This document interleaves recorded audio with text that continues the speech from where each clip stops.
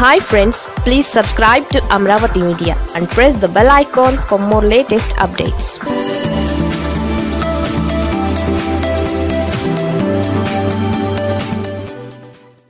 power star confusion master మరోసారి రుజువైందిగా. రాజకీయంగా జనసేన అధినేత పవన్ కళ్యాణ్లో బాగా అయోమయం కనబడుతోంది.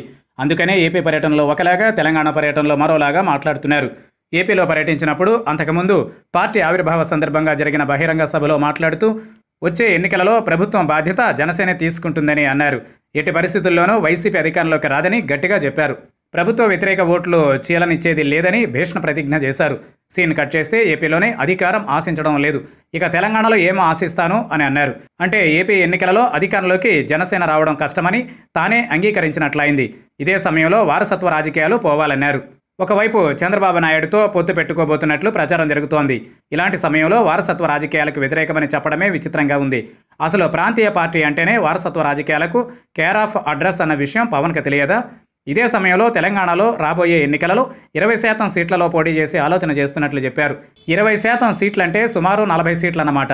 ఏపీతో పోలిస్తే తెలంగాణ రాజకీయాలలో పవన్ పాత్ర దాదాపు లేదనే చెప్పాలి. అలాంటిది ఏపీ ఎన్నికల్లోనే ఎన్ని సీట్లకు పోటీ చేయాలనే విషయంలో ఇప్పటి వరకు క్లారిటీ లేదు. అలాంటిది తెలంగాణలో నలభై సీట్లలో పోటీ అంటేనే ఆశ్చర్యంగా ఉంది. గతంలోనే జనసేనతో పొత్తుకు చంద్రబాబు లవ్ ప్రపోజల్ పంపారు. దానికి ఇంతవరకు డైరెక్ట్గా పవన్ అసలు సమాధానమే ఇవ్వలేదు. పైగా ఇంతకాలం టీడీపీతో పొత్తుకు రెడీ అని అర్థమొచ్చేటట్లుగా సంకేతాలు కూడా ఇచ్చారు. అలాంటిది హఠాత్తుగా వారసత్వ రాజకీయాలకు వ్యతిరేకమని ప్రకటించడం ఏంటో పవన్కే తెలియాలి. ఇవన్నీ చూసిన తర్వాత పవన్లో కన్ఫ్యూజన్ తారాస్థాయిలోనే ఉన్నట్లు అర్థమైపోతోంది. మరి కన్ఫ్యూజన్ ఎప్పటికి క్లియర్ అవుతుందో ఏమో.